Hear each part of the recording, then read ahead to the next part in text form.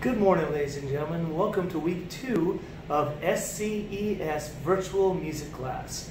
This week we have three things we're going to study. First, we're going to review our lesson from last week and uh, take away a little bit. And each week we're going to take a little bit more knowledge away until we get to take a uh, Google form quiz, practice quiz, to make sure that we're learning the material uh, in September. But that's still a couple weeks away.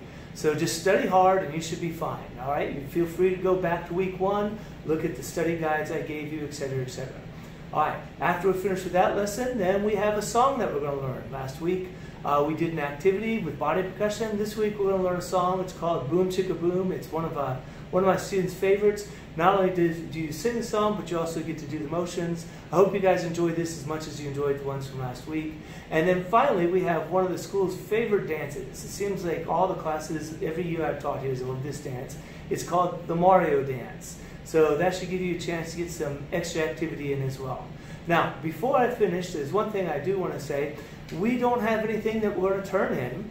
Um, so don't worry about that for right now. We, it won't be till September before I start requiring you guys to, uh, to send things in. We'll do that through Google Forms, and I'll make sure that's very clear. So just view it, and then you can click in, turn in, or whatever. It doesn't matter. There's no work for you to turn in um, either way, but if you click on it, that way I know that you're finished. You can also write a comment in there if you'd like, but it's, I think, easier if you just click uh, on the turn it in, all right? And this also needs you to understand that we're not going to be doing lessons right now where we meet in person like your other classes. It's just because the numbers are so big.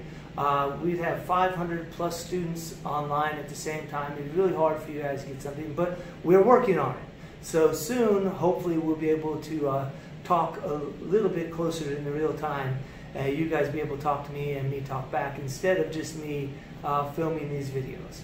All right, but I do appreciate your hard work and uh, hope you guys stay self safe and healthy and enjoy uh, these next three sets of videos. Take care.